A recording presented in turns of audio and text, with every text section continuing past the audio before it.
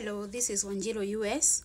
Once you win your DV lottery, you will be required immediately to complete your form DS260 online.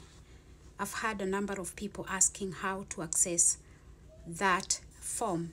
So I'm going to present in this video one easier way to do that.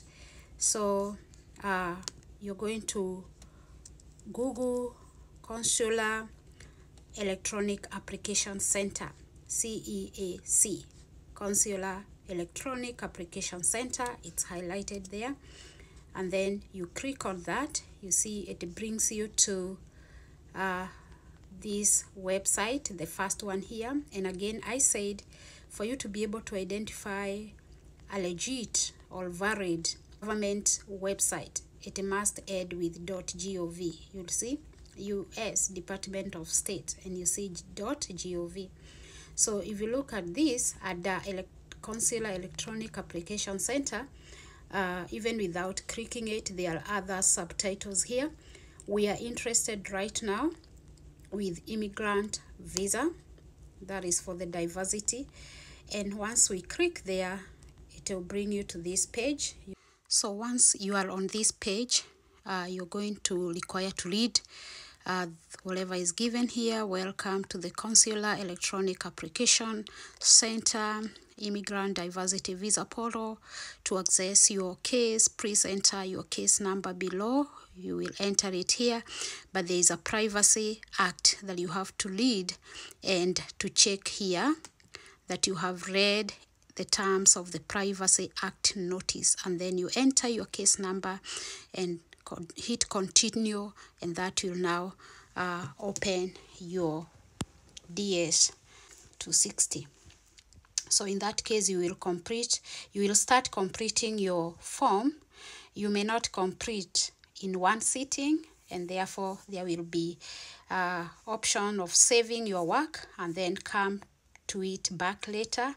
You can step out you know if you want to use bathroom or to go somewhere you can still you know save your work and come back and complete your form. You know it is a longer form. And in that case after you are all done and you're sure that you have you know completed your form with all accuracy and presented maybe all the document required there uh, and it, it is now time to submit. The moment you click on submit, you will now have your form completed and submitted and you cannot be able to change anything on that form. Yeah, so in case you have anything to update on that form, uh, you will now require to email you know the Kentucky Consular Center again. Uh, remember, once you win, you will now be in communication with the Kentucky Consular Center via email. So you can email them and ask them to unlock unlock the form for you in where you want to do any update, you know.